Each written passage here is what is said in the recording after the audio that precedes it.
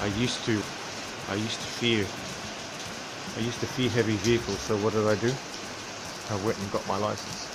Look at them all, waiting patiently to go out again, like an army. It's pretty insane. The manifesting of this rage that is felt within the autist who's constantly punished by the society with the current value system leads them to want to help manifest that resentment in the form of destruction of both themselves and of the society, which I think that correlation shows that society exists within ourselves and the battle is honestly within, which sort of sounds like a cliche. But anyway, and it's raining outside, the rain keeps me company way better than people do. It's funny, even when you ask regular humans for an explanation on why they do things as they do. The explanation itself, when you zoom in on a resolution high enough, which is what is required by people who, you know, like the autists who don't intuitively understand situations. These, these solutions with high enough resolution don't make sense. So they say, for example, why why is it that people have? And I did a little survey on my blog, right? And I got a, like a tiny amount of answers. Why is it that humans want to? When you ask them, why do you guys say, "How was your day?" They say it's because we care about the other person, and so for we want to know how their day is. Now that if you zoom in on that, it's actually a circular reference argument. It does nothing. The real answer, so that someone like the autist can understand, would be something like it is an expression in order to establish an emotional connection which is required by the neurotypical in order to, so that both parties know that there can be potential dialogues in the future between them for the sharing of information if so required. It also reinforces human solidarity, which helps push people away from the worst possible emotional state, which would include orbiting that uh, black hole of the singularity of hell, of your own private hell, it would include depression and anxiety, which is where the autist lives. And I would call it the anxietosphere. I don't know.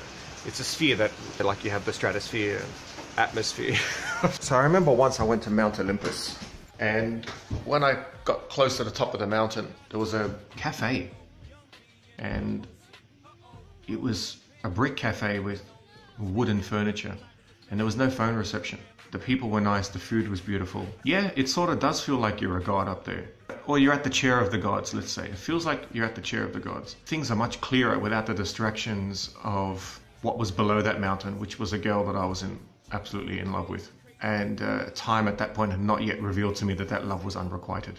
But what I have noticed about the autists is that we or they, the high functionings at least, are gravitate towards people that seem to be gifted with high emotional intelligence.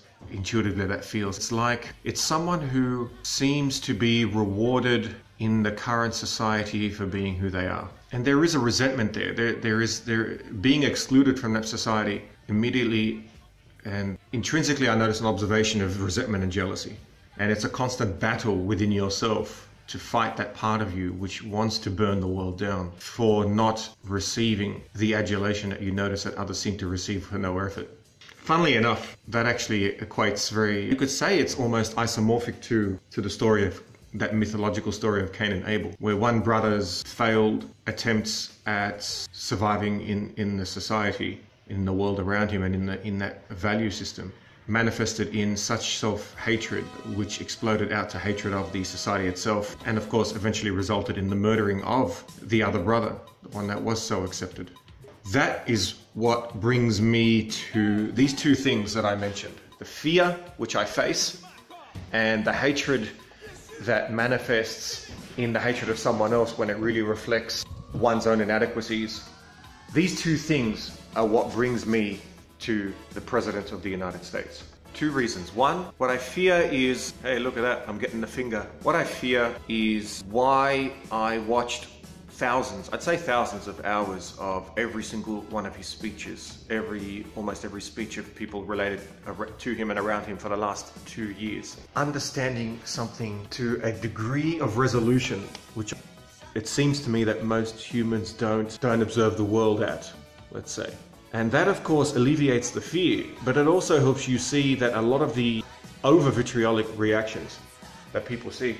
I think are specifically due to this orange person reminding them of something within themselves that they utterly detest. And it was so buried that it explodes with such violence because of him sucking it out like a magnet from beneath the surface. I'm speaking very conceptually at the moment because I've got to go home. That's all I have so far. Any questions, let me know.